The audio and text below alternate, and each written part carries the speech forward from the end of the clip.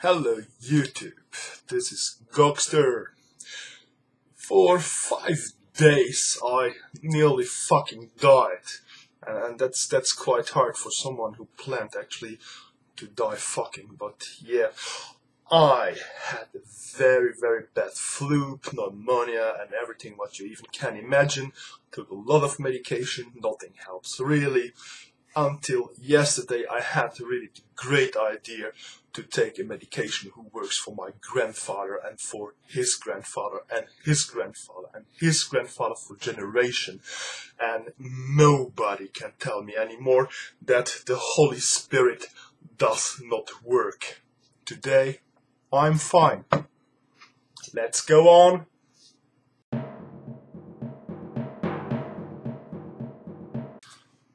I'm really, really happy to see that we go now a step further and there are more people now moving, um, uh, moving on uh, for, for human rights.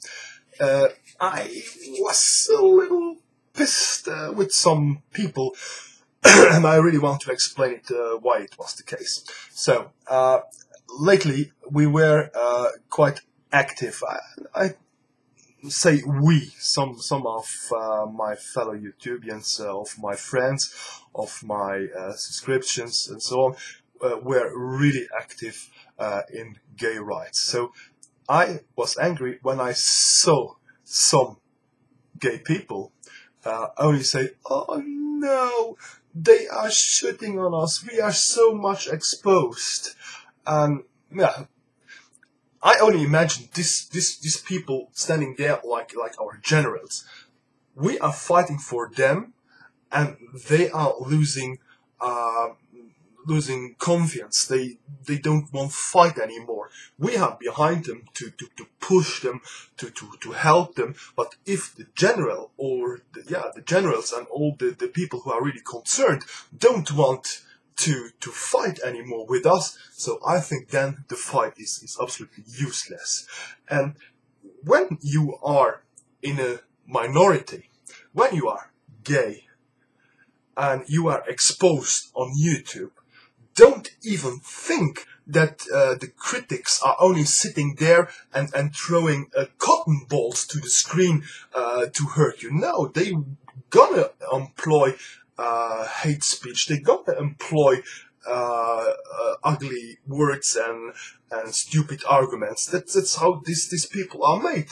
But if our generals, uh, who who should stand there to motivate all the other to follow them, when when, when they are falling, uh, it's like losing the, the flag and the whole army is, is split away and, and the, the fight is, is lost. So it, it should not come uh, that far. So that was uh, a little anger. I even made uh, a short video and I posted only to two people uh, who I, I, I, I, think were concerned with it. I took it down.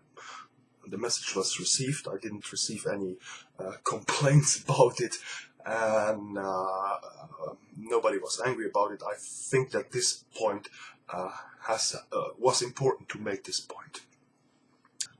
But now, human rights human rights, it's not only limited to, to, to one minority.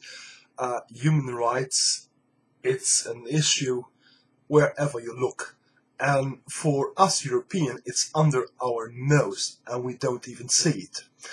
Uh, I agree with Soreta Yuki, uh, guy, it was really good, but when, when you are British, I, my impression, when you are British, when you are on this far west island, you are as near mentally as near to America than to Europe. Uh, I'm from West Europe, living now in East Europe, and I see other issues about human rights.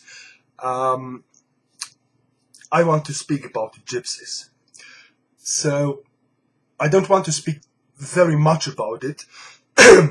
they are all around here.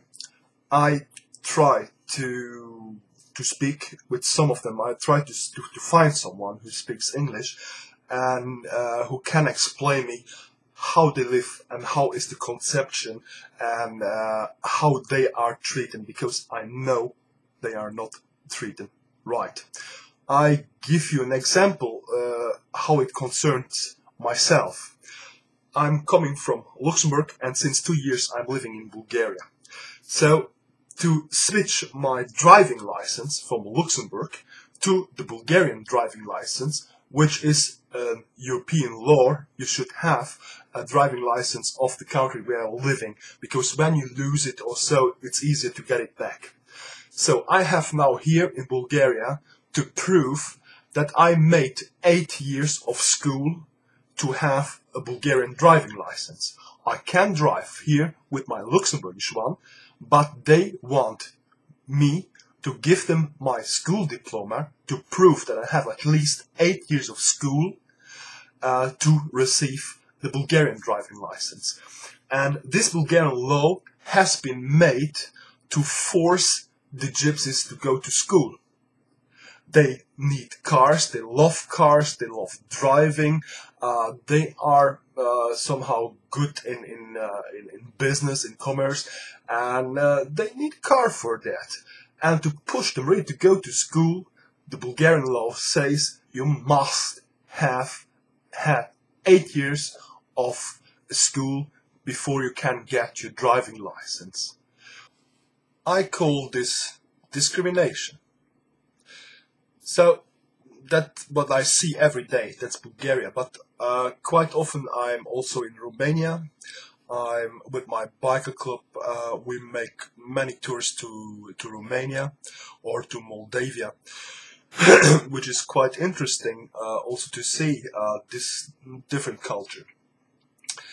Um, what I really was shocked the last time I have been in Romania is to read some panels on restaurant that the restaurant is not allowed to gypsies. So it's it's like uh, in, in my head it, it's like seeing uh, the apartheid uh, politics of, of, South Africa. Uh, there is a spring for white people, there is a spring for black people, and here is a restaurant who is not allowed for, for gypsies. This discriminations goes on in Europe, but not in Europe as such, in the European uh, uh, Commission, in the European um, community. In I, I call the European community our our country, our land, and, and the different countries are only provinces uh, from from this big Europe, and that happened under our nose. You know also that uh, uh, several months ago, uh, France um, uh, deported some uh, some gypsies to, to Romania uh, in, in very very bad condition. They were absolutely chased from, from French in uh, really human undine uh, conditions uh, by Sarkozy. So when we have to get in the point of human rights, I think that in any of our communities, when we look around, we have also there where we live uh, something to do to defend human rights. I can think that maybe I really don't know what I'm speaking about now, but I imagine uh, that um, um, um, Native Americans, how you call it, the Indians, native uh, born Native Americans, I don't know, do they really have the same rights than uh, the white American? The Maori in uh, New Zealand, do they have the same right than the whites in New Zealand?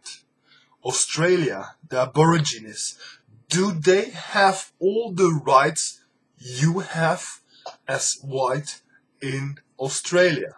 So I think that in any of our communities, we can find a direct example where we are not in an achievement of a 100% human right. And, well, let it go, let go it on, let go it on. I hope today, if not today, tomorrow, I can get out with my camera and uh, mix myself under uh, this gypsy people who is not far from my house here. Try to find someone to speak with. I don't want to say to interview him because I want really to sit down with him uh, with a beer and uh, and even uh, leave the camera for for 10 minutes that he forgets there is a camera and speaking eye to eye uh, to someone and and really uh, not only listen uh, the, the, the voice what he has to, to tell me but also to uh, to listen when, when the heart begins to speak. So that's what I have to say for today. I wish you all a very, very nice day. Get off of your fucking flu and everything, and you know, best medication is house medication. Bye bye. Uh, can you please tell your friends that I'm terribly undersubscribed?